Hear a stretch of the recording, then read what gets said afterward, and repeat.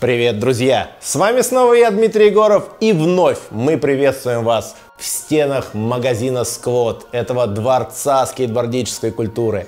Место, где можно найти все для катания на скейтбордических досках, на сноубордических досках и много-много всего другого интересного.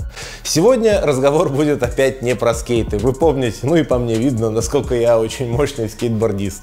Поэтому сегодня поговорим про замечательный коллаб э, бренда Diamond Supply и фонда художника э, Жана Мишеля Баския. Поэтому не переключайте ваши YouTube каналы. Я думаю, имя Баския вам уже известно. Ну, может быть, кто-то из вас назвал его Баскет, Баскват или Бекси. Разные слышал э, варианты названия этого человека, но так как все-таки происхождение у него частично французское, правильно все-таки его назвать Баски. Художник, который родился в 60-х годах э, в Нью-Йорке. В принципе, очень интересная судьба у него, и для меня э, этот художник, ну, честно скажу, до сих пор во многом остается непонятен. Ну, правда, вот на мне, на мне как бы майка с его картиной. я до сих пор, ну, не осознал всей крутизны этого художника, но просто постараемся понять, в какой кухне он варился, и, наверное, то, что его котировали многие другие яркие персонажи того времени, говорит о том, что человек действительно был неординарным. Началось все в Нью-Йорке, в районе Бруклин, где он родился, в семье достаточно такой э, богемный, можно сказать, не самый богатый, но далеко и не самый бедный. Паренек с самого детства э, имел серьезную страсть к рисованию, Считается, что очень большой вот историей, которая подвигла его на то, чтобы рисовать, был его травма в 7 лет, когда он играл э, на улице, его случайно сбил автомобиль, и когда он лежал в больнице, мама не нашла ничего лучше, как принести и подарить ему атлас по анатомии типа, на, сынок, смотри, что у тебя сломалось, что еще может сломаться. И он изучал вот эти все рисунки человеческого тела, ему это было очень интересно как раз с точки зрения, как они были написаны. А, это вообще классический учебник по анатомии, Grey's Anatomy он называется, в честь него, кстати, потом и сериал один назвали про врачей, но еще там вроде бы в начале прошлого века этот вот э, учебник был придуман и славился в том числе не только своими объяснениями, но и иллюстрациями. Посмотрев на иллюстрации, иллюстрации парень понял, что ему очень-очень нравится рисовать. И э, это, наверное, подтолкнуло его к тому, чтобы э, со временем его отдали в школу, где как раз учились многие художники. Многие говорили и назвали эту школу специальной, ну, то есть не с художественным уклоном, а специальной школой для учеников, которые немножко тупенькие, и поэтому не могут там нормально э, учиться другим предметам, а рисовать вроде как у них получается. Ну, скажем так, что действительно там собрались очень многие художники, которые, которые потом стали знаменитыми. Помните, мы рассказывали про коллаб э, с Китом Харингом? Кот Кит Харинг тоже там в этой школе учился.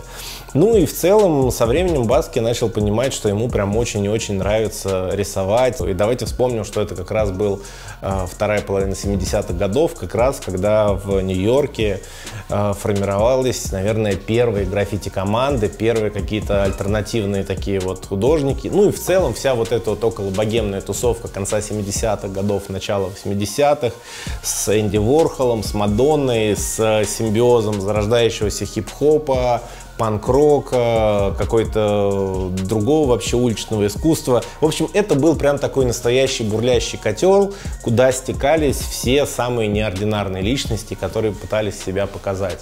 А, в том числе это пытался делать и Баски. А, кстати, тоже такой момент. К этому времени его отец с матерью разошлись, и он с сестрами остался жить вместе с отцом. А мама уехала в сумасшедший дом, куда регулярно попадала, временами из этой лечебницы выходила, пыталась принимать какое-то участие в воспитании ребенка, но, в принципе, наверное, тоже это частично повлияло на мировоззрение молодого художника, который начал все больше интересоваться искусством граффити. Если мы э, отмотаем пленку, что называется, как раз на вот то вот время, 70-е, конец 70-х, то граффити тогда было совершенно другим. Тогда не было всех вот этих красочных баллонов. Тогда даже у ребят не было особо и денег, чтобы баллонами какие-то огромные картины рисовать. И, в принципе, граффити это было продолжение вот этого языка бродячих э, бродячих бездомных, которые оставляли какие-то знаки на поездах, какие-то знаки на стенах города, означающие, что типа здесь можно получить еду, здесь много полиции и тому подобное. Так и молодые графитчики просто оставляли свое имя. Началось все, если не ошибаюсь, с человека по именем Таки 183, который писал про это, ну, который писал свое имя везде в метро. Потом, когда про него вышла заметка в одной из центральных газет, и заметка вышла с тем, чтобы порицать такое вот хобби, наоборот, оно стало все более популярными. Баски было не очень интересно просто писать свое имя, тем более оно действительно было очень сложное и длинное для написания, поэтому вместе со своим другом LDS они вместе придумали такого персонажа, как Само. SAMO, и везде писали какие-то небольшие, э, казавшиеся им э, умными и интересными фразы, типа «Само – это наместник Бога на земле, слушайте только его». Или «Что не делается, то все делается к лучшему вас и само».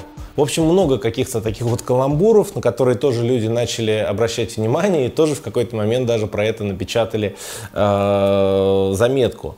Но когда это стало популярным, Баски решает, что нет, ему уже хочется чего-то другого, начинает рисовать какие-то другие картины, э, активно занимается музыкой. Кстати, тоже такой интересный момент. Авторству Баски принадлежит э, обложка одной из самых дорогих пластинок в хип-хопе.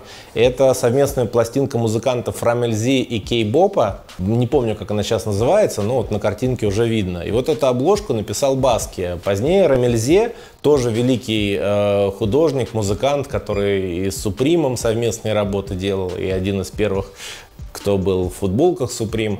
Ну, в общем, тоже такой известный человек. И он позднее сказал, что Баски также и хотел зачитать на этом э, альбоме, и даже частично музыку написал. Но ребята сказали, что давай остановимся просто на картинке. Картинка крутая.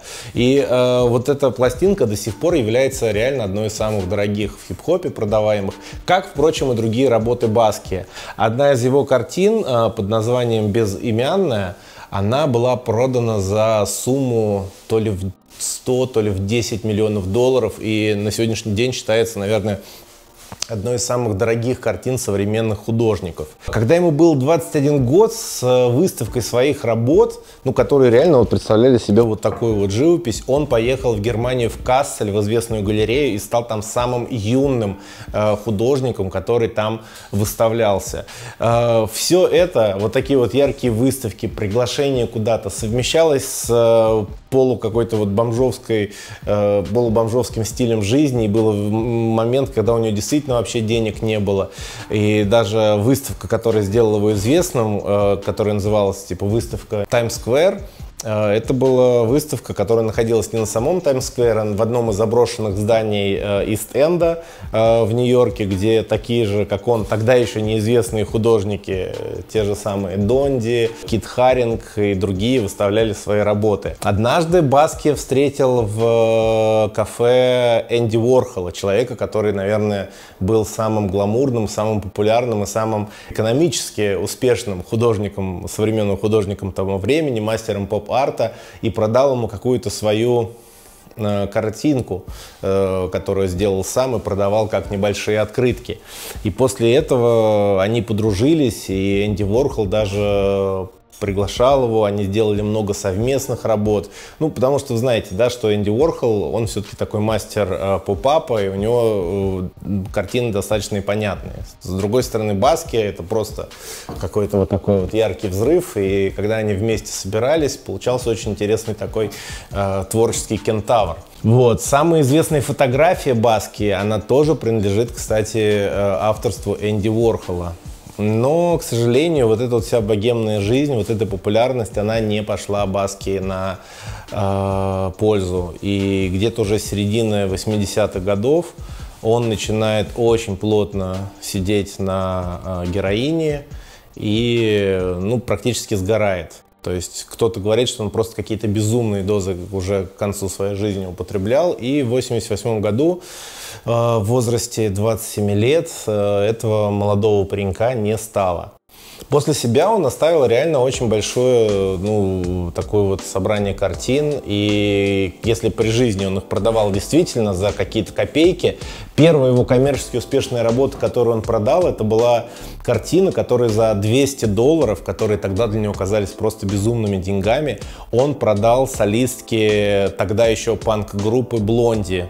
Э, кстати, в клипе Rapture это тот самый первый клип, где Блонди пытались заигрывать с хип-хопом. Изначально в роли диджея должен был выступать известный диджей Grandmaster Flash, но он посчитал, что с какими-то белыми панками не буду записываться.